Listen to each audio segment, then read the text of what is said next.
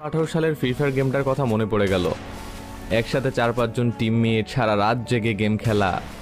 আবার দিনে গেম না খেললে গ্রুপে এসে সবাই মিলে আড্ডা দেওয়া। অনেক মিস করি এখন এইগুলা। কারণ সেই সব টিমমেটগুলো তো এখন আর নেই। যে গেম থেকে তাদের সাথে পরিচয় হয়েছিল সেই গেমটাই তো এখন খেলা হয় না। আর গেমটা না খেলার কারণ হইতেছে যে গেমটা যেন কেমন দিন দিন বস্তি মার্কা গেম হয়ে যাইতেছে।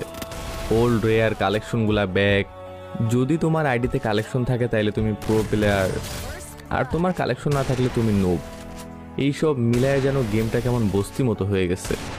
যার কারণে এখন আর এই গেমটা খেলা হয় না। আর এই জন্য সেই টিমমেটগুলো আর নেই। সত্যি বলতে সেই টিমমেটগুলো নেই এমন না। মানে সেই টিমমেটগুলোও হয়তো বা এখন আর গেম খেলে না।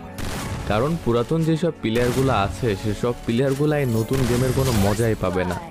পুরাতন গেমের যে মজাটা ছিল ভাই সেই মজাটা আসলেই এখন এই ফ্রি ফায়ারে আর